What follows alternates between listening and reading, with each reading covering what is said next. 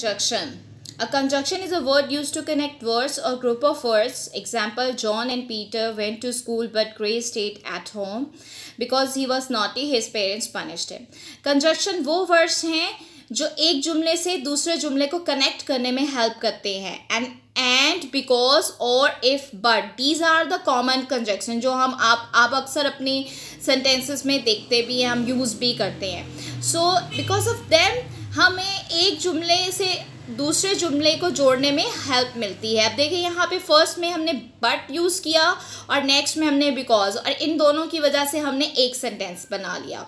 Next is called interjection interjection is a word that express strong emotion interjections जो हैं, वो आपके जज्बात को फीलिंग्स को शो करते हैं। Interjection which is less emphatic may be followed by a comma but such an interjection interjection also stand by itself and is not grammatically related to the rest of the sentence interjections जो होते हैं, कई दफ़ा आप ऐसा भी होता है कि आपके लेस इमोशंस हों, यानी जिसमें आपके इमोशन स्ट्रॉन्ग ना हो तो हम वहाँ पे वो कॉमा यूज़ करेंगे और अगर आपके स्ट्रॉन्ग इमोशन हैं तो हम उसको एक्सलमेटरी साइन के साथ मार्क करेंगे। ये देख सकते हैं आप example oh look at the time अब यहाँ पे ओ के बाद कॉमा इसलिए है कि ये बहुत फीलिंग्स जो हैं, वो हमारी लेस हैं, यानी कम हैं। बट नेक्स्ट में हुर्रा के बाद वी हैव वॉन तो यहाँ हमारी फ़ीलिंग्स स्ट्रॉन्ग है। तो इसलिए हमने हुरा के बाद एक्सक्लेमेटरी साइन लगाया और ओह के बाद हमने कॉमा लगाया, क्योंकि वहाँ स्ट्रॉन्ग फीलिंग्स नहीं थे। Okay now look at the exercise state the part of speech of the word in bold print in at sentence अब आपने बताना है कि ये जो बोल्ड प्रिंटिंग वाले वर्ड्स हैं, ये क्या है?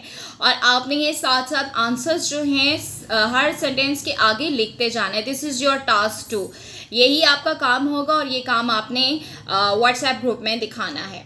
We watch a soccer match yesterday. Match this there is noun here so write down noun in front of the sentence their character do not match match is verb here next time you'll work well work well यहाँ पे time जो है verb है do no do you realize what time it is यहाँ पे time noun है और याद रखें कई दफ़ा कुछ वर्ड ऐसे भी हैं जो एज नाउन और एज वर्ब दोनों रिप्रेजेंट हो जाते हैं they live in prosperity live is action word here they was a live telecast of the concert live यहाँ पे एडजेक्टिव है.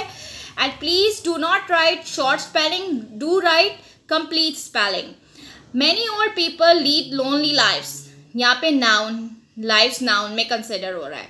He lives in a house by the see verb people are usually kind to those in need there is adjective this is the kind of man I detest यहाँ पे kind जो है noun है.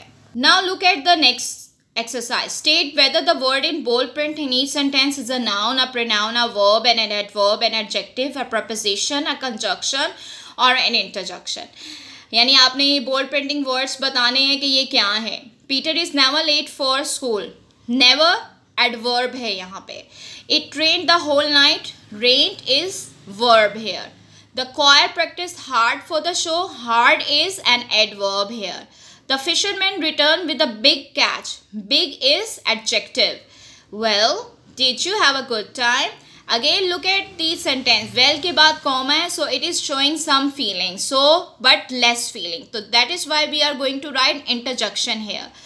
The baby is crying because he is hungry because देख रहे हैं ना, ये सेंटेंस को कनेक्ट कर रहा है विद एन अदर सेंटेंस तो यहाँ पे हम बिकॉज़ जो है वो कंजक्शन है. Is that Joseph whistling Joseph is noun here there is no secret between us between क्या है बिटवीन जो है वो आपका conjunction hai. Next is Mrs. Anwar worked so hard that she fell ill. This is your preposition. She, uh, sorry, she is your pronoun. Okay. Put the parcel on the table. Put the parcel. Put is action word here. So write down verb. So please uh, students write down uh, full spelling in front of every statement. And if you have query, you can ask from your group. Thank you.